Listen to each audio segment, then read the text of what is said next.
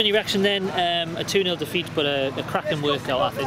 Yeah, great workout. Sounds, sounds strange to say when we've been beat, but I'm pleased with the lads. Uh, I'm not making excuses, but we've got nine injuries, two, two suspected COVID, one confirmed COVID, so the lads have stepped in I couldn't ask any more of them. I've said that to them at the end there.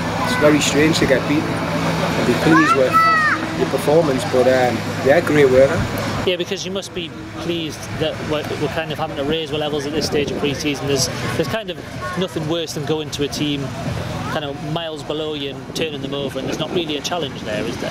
Absolutely, yeah. They're a top team they we've just played. They've got some top, top players. Um, so to come, and, come here and put on a performance like we did, which I, I say I'm, I'm absolutely delighted with the lads, to be honest. Um, got lively at times. It was a proper game of football. It wasn't a pre-season friendly. There was tackles going in. It got ugly at times. But uh, as I've said, I couldn't be any prouder of the lads. I spoke to you a couple of weeks ago after the Shildon game, and you kind of said you're going to give the lads a couple of weeks, and then it's.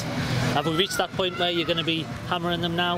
Yeah, well, I think I'd like to think the country game was a turning point. Um, I wasn't there, but I've heard it. It wasn't good. Um, so I spoke to the lads, and, and reacted from that game. So that's all I can ask. We've had three or four training sessions where the attitudes have been great. We've had three games where the attitudes have been great. And I know it's only three games, but I'm, I'm starting to.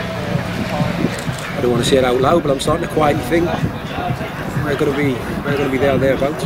Yeah, so uh, last question then. Uh, are, are the squad where you want them to be at this stage of pre-season? Because there's obviously another level to go to, but bubbling along nicely, I guess. Yeah, yeah, we are. Um, one thing I'll, I'll keep drumming into them and drumming into them is attitude. I, I, I, hate to keep going back to the Consett game, but I'll reference it a lot this year because it was as low as it's been, uh, what I was told.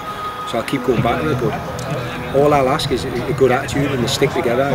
There's going to be times this year when we're on the road on Tuesday nights in January, whatnot, and we need to stick together as a group. And like I say, from that Consett game, we've, we've been spot on. I know it's only three sessions and three games or whatever, but little little obstacles at the time and we'll, we'll, we'll keep going.